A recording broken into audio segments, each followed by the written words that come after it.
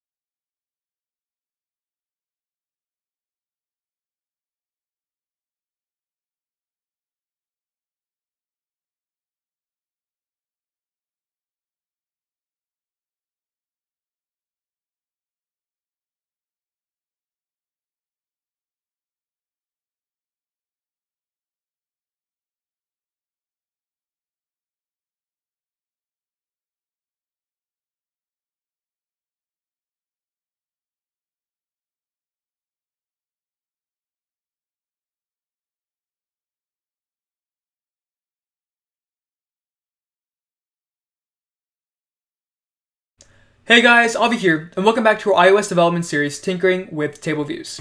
Now that we've gotten a working table view application, the next thing we have to do is go ahead and add the functionality so that when we click on one of these table views, we're taken to the next view. Before we do that, let's go ahead and create that second view, and that's what we're going to be doing in this video. So let's go ahead and search for our view. Let's go ahead and add a view controller onto our screen.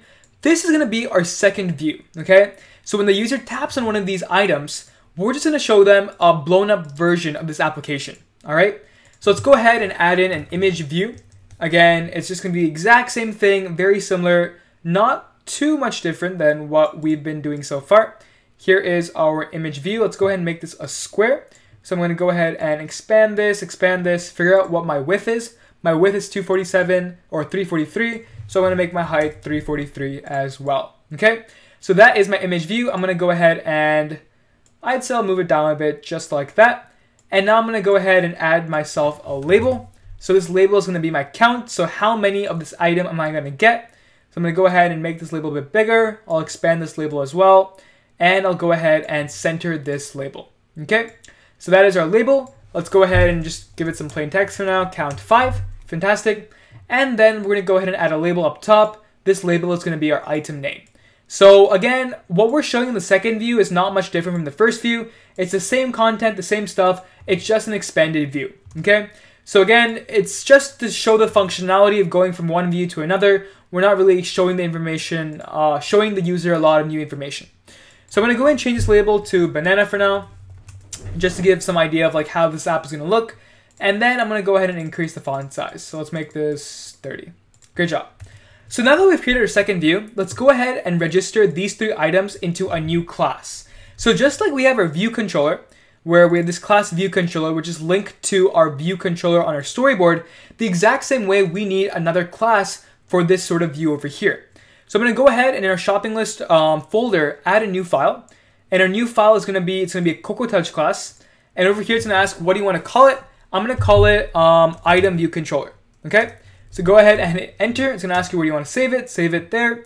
And let's go ahead and bring this up. Now this item view controller has to get linked to this new view, okay? So go ahead and select this view. And just like we linked our custom table view cell, you're gonna go ahead and go into the identity inspector. And over here, you're gonna go ahead and type item view controller.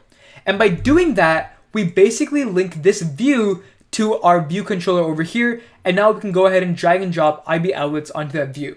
So let's go ahead and select this, go to our automatic item view controller. Let's go ahead and drag and drop this over here. So let's find out where our manual, shopping list, shopping list, item view controller is over here. And let's go ahead and drag and drop this banana label. So I'm gonna call this item label or item name. I'm gonna call this item image, image, and I'm gonna go ahead and create one more count for item count. Fantastic. So in the next lecture, we're going to go ahead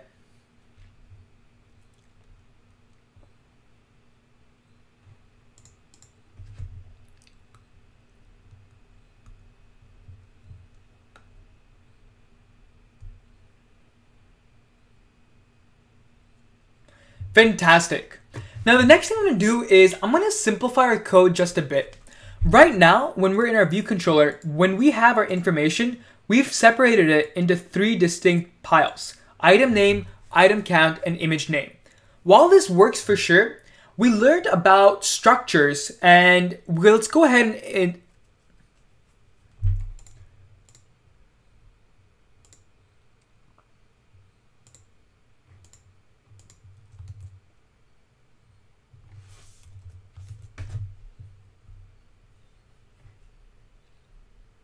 Alright, fantastic job guys, that's it for this lecture. In the next video, we'll go ahead and understand how to implement the functionality where when a user taps on one of these table view cells, they're taken to the next view.